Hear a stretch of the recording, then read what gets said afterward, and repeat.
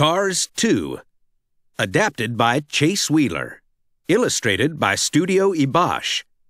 Designed by Tony Farron. Lightning McQueen was ready for action. He was going to a big race to prove that he was the fastest car in the world.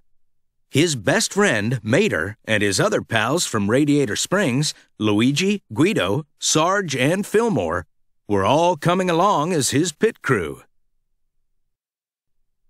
Lightning was going to compete in three races held in three different places Tokyo, Japan, Porto Corsa, Italy, and London, England.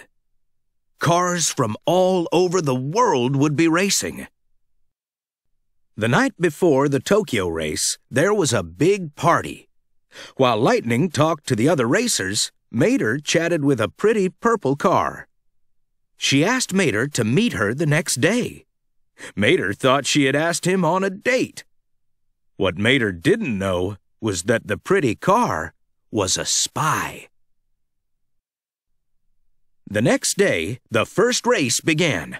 Vroom! Lightning and the other race cars zoomed around the track.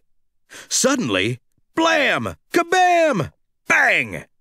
Two race cars caught fire. Lightning didn't see the explosions. He was already pulling into the lead. Just then, Lightning heard Mater giving him instructions over his headset. Right, left, right. Lightning swerved around the track, trying to follow the crazy commands. Little did he know Mater wasn't even watching the race. Mater had gone to look for the pretty purple car. Lightning was overhearing Mater talking to himself.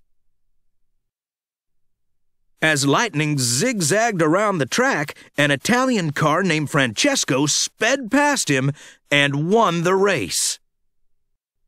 Lightning was upset. You made me lose, he told Mater angrily. I never should have brought you. Mater didn't want to cause any more trouble for Lightning. The next day, he left a note saying he was going back to Radiator Springs. But Mater never made it home. At the airport, two cars started to chase him. Another car saved Mater just in time and led him onto the runway where a jet was waiting. Guess who was on the jet? My date! Mater exclaimed. The pretty purple car's name was Holly. Her partner's name was Finn. They were both spies. They thought Mater was a spy too. They wanted his help on a top secret mission. Meanwhile, Lightning had gone to Italy, where he met Luigi's uncle. Uncle Topolino saw that Lightning was sad about Mater. Whoever finds a friend finds a treasure, he told Lightning. Lightning decided he would apologize to Mater, right after he won the next race. The next day was the Italy race. Lightning, Francesco, and the other race cars chased each other through the winding streets of Porto Corsa. Suddenly, Blam! Kabam! Another car exploded and was out of the race. Lightning won, but all the race cars were worried. What was causing them to explode? Mater learned from his new spy friends that Lightning was in danger. But before he could warn his best buddy, the bad cars came back and captured Mater. Holly and Finn were taken prisoner too. The bad guys put the trio in a deadly trap deep inside Big Bentley, the huge London clock. It was time for the third and final race in London. Once and for all, Lightning and Francesco would find out who was the fastest car in the world. Suddenly, Mater appeared on the racetrack. He had escaped from the clock. Lightning raced toward Mater to apologize. He knew now that winning the race wasn't worth losing his best friend. But now, Mater was driving away from Lightning. He had just realized that the bad guys had planted a bomb right under his hood.